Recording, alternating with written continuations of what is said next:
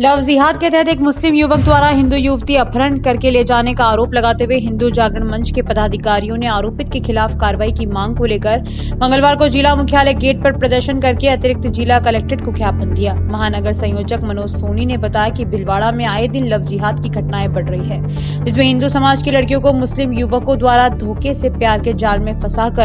उनका धर्म परिवर्तन करना और उनकी निर्मम हत्या करने तक की घटनाएं हम देख चुके हैं मंगरोब कस्बे की एक युवती को शाहरुख मेवाती नामक युवक द्वारा अपहरण कर ले जाने के मामले में भी कड़ी कार्रवाई की मांग भी की गई है हिंदू जागरण मंच के प्रशासन से मांग है कि लगातार हो रही लव जिहाद की घटनाओं पर प्रशासन सख्ती से कदम उठाए और इनके सहयोगियों पर कठोर कार्रवाई करे इस दौरान विभाग संयोजक सुभाष बाहेती सुरेंद्र शर्मा मुकेश बिश्नोई रविचार शिव सोनी प्रिंस सिसोदिया रामेश्वर माली नंदकिशोर पूर्विया शिव गुजर दीपक खट्टी अंकित सोनी राजेश सोनी नितेश सोनी प्रशांत सिंधी हितेश कृपलानी श्याम प्रताप सिंह आदि अनेक कार्यकर्ता उपस्थित